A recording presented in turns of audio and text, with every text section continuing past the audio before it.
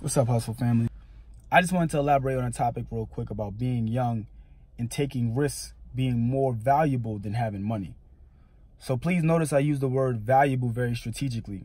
When you're young, having money is necessary to survive. So don't get me wrong. I'm not saying that having money is not something that you need when you're young. Obviously, you want to be establishing yourself, saving, figuring out things. You need to live, you need to survive. You probably want to travel, shop, whatever you want to do. So don't be scared of what your parents might think, of what your friends might think, of what you wanted to accomplish but you can't quite accomplish or get down on yourself because while you're young, please hear me one more time. Taking risk is more valuable because the potential to get a return on those risks is greater. Having money and sitting money in an account that probably doesn't give you any returns, that probably doesn't give you any percentage back, that's really not going to do much for you, especially if you don't know where to put it. Because if you build up as much money as you can and then you invest it in the wrong thing, guess what? You're done. Because you probably spent a whole bunch of time just saving money. And then by the time you put it into something that you don't know how to flip it, you're done because you need to build it up from square one again. But right now, if you take risks, take risks, and you figure out and you learn and you adjust and you fail without emotion, then you will be set up for the rest of your life. Doesn't matter how young you are, take risks, try. I had no idea how to do it. I didn't have a whole ton of money to just spend to figure it out. I didn't have any experience. I didn't have a network that could help me. But what I did have was the ability to try. I took the risk. I jumped out there. And that is one of the most rewarding decisions I've ever done because through fashion is how I learned about business. Through fashion is how I learned how to build a brand through fashion is how I met connections. So really, I feel like the person that I am today is impossible without me taking that risk at 18. I was 18. The summer after I graduated high school is when I started my first clothing venture. And I had to reach out to my friends and really figure out how to do this. I had friends that knew certain things more than me. I have friends that knew how to design. Shout out to Dylan. Thank you, Dylan.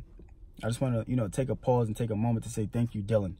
She was very, very important and teaching me how to do simple things like sketch, teach me how to study trends, teach me how to really sit and develop product. So thank you, Dylan. Uh, Dylan Robin. I just want to, you know, take a moment say thank you. Thank you to Anthon, my guy. Uh, we've been rocking since kindergarten. You know, Anthon was the first person that had more energy than me about reaching out to people about the the product that we were designing and really helping with that sales push. So I just want to say thank you to Anthon. Take that moment and, and, really say thank you. Thank you to Jesse. You know, if you know me, you know Jess is, is my right hand. And uh, especially when it came to the clothes, Jess was ready to jump off the stairs immediately and start pushing that and start moving that. So thank you to those people. And there's so many others. I don't just want to say thank you to just those three people, but those three people were the first initial people that I reached out to when I was doing the venture and really helped so I want to say thank you to those people. Um, I'm forever grateful because I learned a lot from you. And I would not be doing what I'm doing today or what I'm able to do tomorrow if it wasn't for those people being in my life and really helping me. So, again, that all stemmed from me taking a risk. I was able to do a whole bunch of things with fashion because of that initial risk. So while you're young, take that risk. And don't be so caught up in the emotion of taking risks. Yes, you might fail. It might be a little hard.